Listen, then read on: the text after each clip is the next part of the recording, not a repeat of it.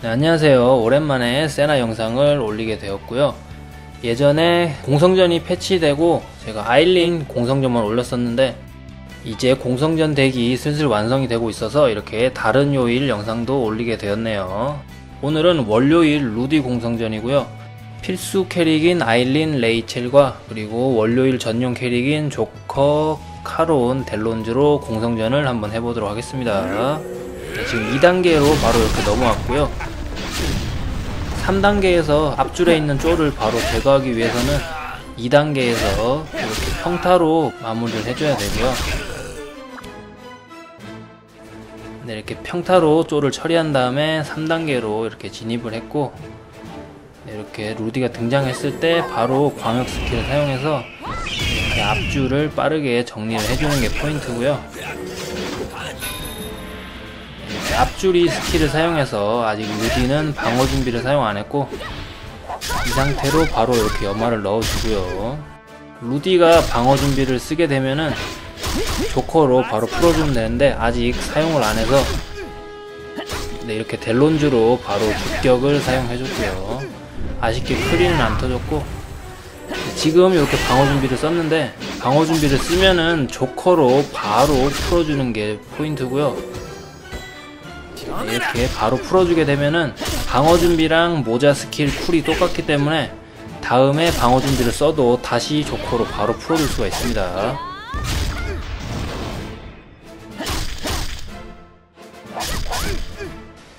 모자로 buff를 푼 다음에는 강한 스킬 위주로 이렇게 사용을 해주면 되고요.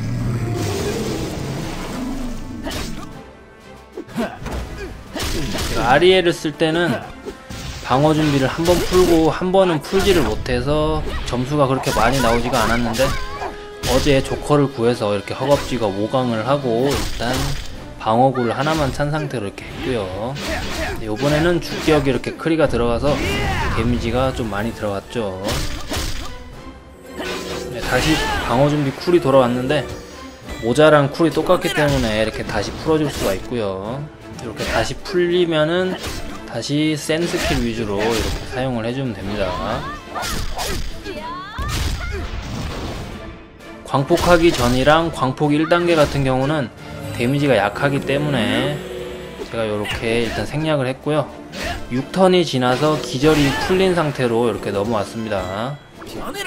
네 6턴이 지나게 되면은 이렇게 광폭 2단계가 진행이 된 상태고요 지금 이렇게 돌격을 맞고 아일린이 기절에 걸렸죠. 기절이 이렇게 랜덤으로 걸리기 때문에 6턴 이후에는 운이 좀 필요하다고 할 수 있고요.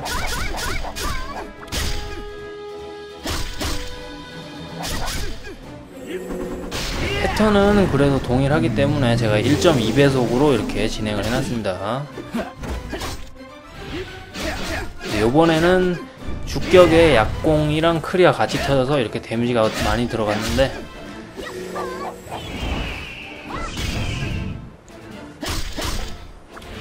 또 이렇게 아일린을 때렸고요.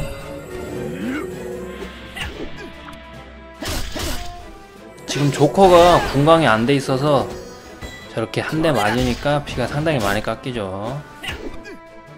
이번에 운 좋게 안 죽어서 다시 이렇게 카론으로 heal을 해주고 염화를 쓴 다음에 한 번 더 해제를 해줄 수 있을 것 같네요.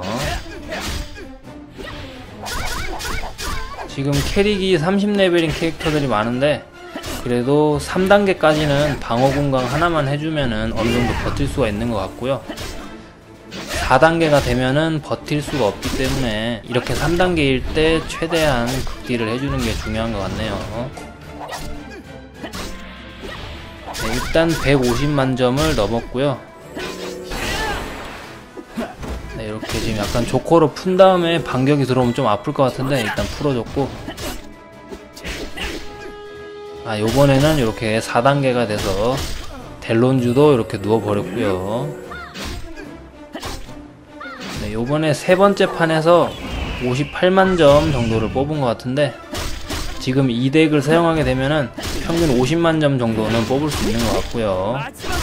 강화랑 초월이 좀 더 되면은 세 판에서 200만 점까지도 나올 수 있을 것 같네요.